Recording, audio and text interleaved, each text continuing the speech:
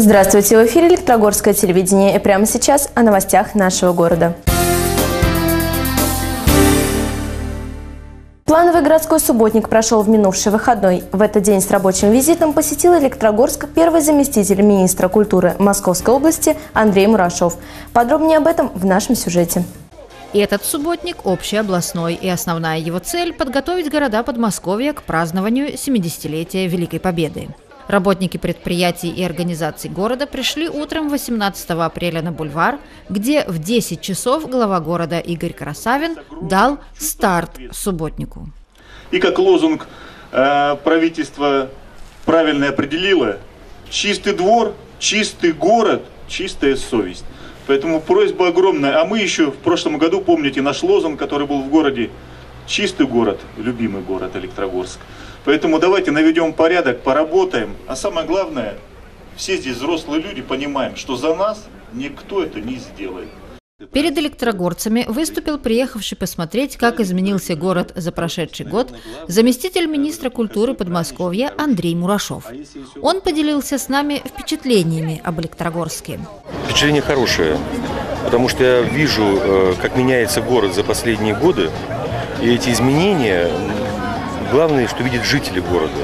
Очень много объектов, которые сданы и завершены строительством. Многолетние объекты. Это и Дом культуры, которого так ждал город. Это начата реконструкция парка городского, заброшенного ранее. Построены спортивные объекты, преображаются скверы, улицы города. И, наверное, это самое главное – к чему нужно стремиться э, во всей Московской области, на что нас настраивает, нацеливает губернатор, чтобы эти перемены были прежде всего к лучшему для жителей, которые здесь живут. Ну а сегодняшний день, день э, субботника в Московской области, имеет еще очень яркую и особенную окраску в этом году, поскольку наша задача подготовиться к 70-летию Победы так, чтобы не было стыдно перед ветеранами и перед теми людьми, которые эту победу добыли ценой огромных жертв. Вот э, мы все вместе сегодня должны подготовить нашу область, нашу страну к этому великому празднику. Заместитель министра осмотрел часовню Матроны Московской, детскую и спортивную площадки, подарок губернатора, физкультурно-оздоровительный комплекс «Лидер» с бассейном и тренажерным залом, оценил красоту и функциональность Дома культуры, посмотрел, как облагораживается парковая зона за ДК и на теплых озерах. О каждом объекте у него сложилось хорошее впечатление. Руководителям ФОКа и ДК он оставил профессиональные рекомендации и советы. Завершился сезон как бы высокий. Да. Открывается в парках сезон, да, в учреждениях закрытых завершается он. Нужно с сентября по будущий май уже сейчас вам вклиниваться в программы, делать заявки, разговаривать, графики верстать, чтобы областные театры приезжали, э, коллективы приезжали, артисты приезжали, елки готовить, но уже на, на будущий Новый год. Угу. Сейчас это работа, которую можно спокойно выстраивать. За каждой из организаций были закреплены городские территории, которые они должны постоянно содержать в чистоте. Так на бульваре навели порядок сотрудники ЖКО номер один, у рынка – работники отдела образования администрации, на улице Крыжановского – отдел ЖКХ администрации, у Дома культуры – управляющая компания «Эленком». Этот субботник стал подготовительным этапом к высадке деревьев, которая состоится 25 апреля. 18 апреля группа поискового отряда «Восток» отправилась на весеннюю вахту памяти «Бельский плацдарм» в Тверскую область Бельского района. Организовывает вахту памяти поисковое объединение «Плацдарм», в которое недавно вступил Электрогорский поисковый отряд. Во всероссийской экспедиции будут участвовать представители восьми регионов. Вахта памяти проводится с 2007 года. В этом году проект «Вахта памяти» посвящен 70-летию победы в Великой Отечественной войне. Эта экспедиция направлена на поиск пропавших без вести солдат и на захоронение их в мемориальном комплексе в деревне Демихи. А, едем на весеннюю вахту памяти, которая называется «Бельский плацдарм». То есть ее организует э, поисковое объединение «Плацдарм», в которое мы недавно э, вступили. Вот, и, собственно, чем заниматься там будем, это розыск пропавших без вести бойцов, то есть именно э, работа по подъему наших бойцов, которые там еще по прошествии 70 лет остаются лежать в тех лесах, полях, болотах. Электрогорскому поисковому отряду «Восток» впервые предстоит принять участие в столь масштабном мероприятии. Около деревни Демихи ребята будут заниматься поиском пропавших без вести солдат Великой Отечественной войны по местам кровопролитных боев. Они взяли с собой туристическое специальное поисковое снаряжение, помощь в приобретении которого оказал Роман Тикунов, а продукты питания предоставлены администрации городского округа Электрогорск. Просто я еще не могу понять то, что вот в прошествии 70 лет в земле еще остаются бойцы, которые ну, просто под ногами лежат, и люди по ним ходят. То есть если я буду причастен к подъему этих бойцов, то я буду как-то и чувствовать себя лучше, наверное. То, что я сделал что-то хорошее такое, в душе будет спокойней. Весенняя вахта памяти «Бельский плацдарм» продлится до 8 мая. Ребята поискового отряда «Восток» вернутся из экспедиции в конце апреля.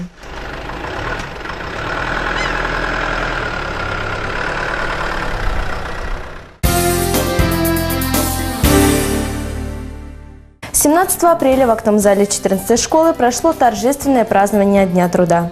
На мероприятии присутствовали сотрудники администрации, образовательных учреждений, организаций и предприятий. Праздник труда не разделяет по профессии. Это праздник наш общий. Врачей, педагогов, полицейских, инженеров, строителей, всех без исключения. Кто бы какими делами ни занимался, но самое главное, это праздник людей ответственных. Праздник людей труда праздник людей созидателей, добра. Тот, кто делает свое дело добросовестно и с огромным чувством ответственности. За многолетний добросовестный труд и профессионализм сотрудников предприятий и организаций наградили благодарностями губернатора Московской области, почетными благодарностями, грамотами, знаками Московской областной думы. Замечательно, что у нас есть ветераны, с кого есть брать пример, но нет у нас будущего без наших детей, без нашей молодежи. И вот Денис Олегович один из представителей, кем мы гордимся, на кого можно равняться. И хоть, конечно, проблем ЖКХ еще много-много-много, которые предстоит решать, но чувство ответственности и желание делать свое дело добросовестно – это очень важно. Спасибо за труд. Также были вручены почетные грамоты главы городского округа Электрогорск, Почетной грамотой Комитета по труду и занятости населения Московской области наградили династию Болдиных, работающих на предприятии ГРЭС номер 3. В этот день были отмечены и победители конкурса «Наше Подмосковье». На празднике выступали творческие коллективы и артисты нашего города. На торжественном мероприятии, посвященном празднованию труда, награждали династию Болдиных, работающую на ГРЭС номер 3. Предлагаем вашему вниманию фильм об этой семье. Семья Болдиных трудится в сфере энергетической промышленности в филиале ОАО «Мосэнерго» ГРЭС номер 3 в городском округе Электрогорск. Основатель трудовой династии Болдина Анна Григорьевна. На ГРЭС-3 она работала с 1949 года. Будучи специалистом-техником-теплотехником, Анна Григорьевна занимала должности прибориста, электромонтера, лаборанта химической лаборатории, слесаря по ремонту и обслуживанию автоматики и средств измерений электростанций, зарекомендовав себя как аккуратный, исполнительный, трудолюбивый сотрудник – Отработав на ГРЭС-3 47 лет, Анна Григорьевна вышла на пенсию. Я с ней э, начал работать, как пришел сюда на станцию. Э, это был как раз 69-й год.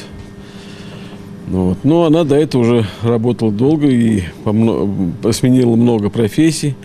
А когда я пришел, значит, она значит, работала у нас в специализации проверка э, приборов. Анна Григорьевна Болдина ушла из жизни в 2011 году. Николай Николаевич вспоминает ее как жизнерадостного, любившего свою работу человека. Когда уже она ушла на пенсию, это уже прекратились отношения, но она никогда не забывала, всегда позвонит, сколько с ней работал, у нас всегда были с ней хорошие отношения. Глава династии Болдин Сергей Владимирович, ее сын. Он начал свою трудовую деятельность на предприятии в 1977 году в должности слесаря по ремонту оборудования машинных цехов, тепловых и гидроэлектростанций. Ну, на станцию привела меня мама после окончания школы. А, с ней мы прошли практически все цеха, осмотрелись, но мне, честно сказать, не было желания здесь работать. Почему-то хотелось все работать на комбинат, на мебельный. И уже, уходя со станции, встретился нам человек, который сыграл, можно сказать, ключевую роль в этом, Николай Сергеевич Буков. Просто обнял меня за плечо и сказал, со мной пойдешь? Пойду. И вот пришли мы в этот цех. Здесь была всего лишь одна турбина. То есть только начинался процесс становления вот этой станции. Ну вот с тех пор, с 78 года я здесь. За 35 лет работы на ГРЭС-3 Сергей Владимирович постоянно совершенствовал свои знания, повышал квалификацию, благодаря чему в 1998 году был назначен на должность мастера по ремонту парогазотурбинного оборудования в местах его установки. Сергей Владимирович никогда не боялся брать на себя выполнение сложных задач, успешно справлялся с ними и передавал опыт молодым сотрудникам. Все ремонтируется в срок и с хорошим качеством, вот под руководством Сергея Владимировича. То есть мастер, он и есть мастер. За достижение в работе Болдину Сергею Владимировичу в 2003 году было присвоено звание заслуженного ветерана труда Мосэнерго первой степени. Своего сына, как когда-то его самого мама Анна Григорьевна, Сергей Болдин привел работать на ГРЭС-3 в 2008 году. Ну, во-первых, это стабильное предприятие. Энергетика всегда нужна. А во-вторых, продолжение династии. Наверное, всем родителям хочется, чтобы дети шли по их стопам. Я думаю, он об этом не жалеет. Болдин Илья Сергеевич начал свою трудовую деятельность машинистом-обходчиком по турбинному оборудованию. Вскоре он был переведен на должность инженера и занимает ее по сей день, продолжая обучаться и расти как профессионал. Илья Сергеевич трудится в составе династии 6 лет и 7 месяцев.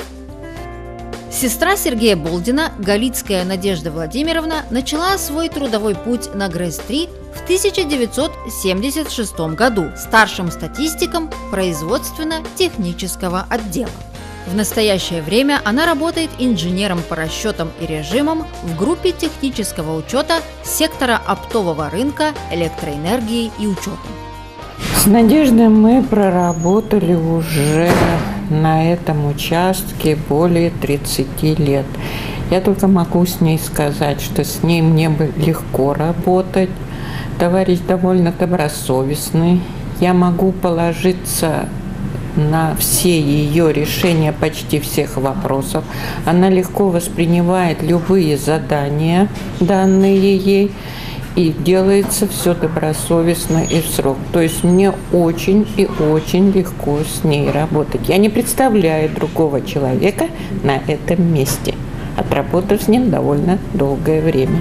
Бухгалтерское образование и опыт позволяют Надежде Владимировне эффективно справляться со сбором и обработкой данных по оперативно-коммерческому учету, технической и статистической отчетности на ГРЭС-3 Стаж работы в составе династии 38 лет и 3 месяца. Общий трудовой стаж трех поколений династии Болдиных с 1949 года по сей день составляет 127 лет и 8 месяцев.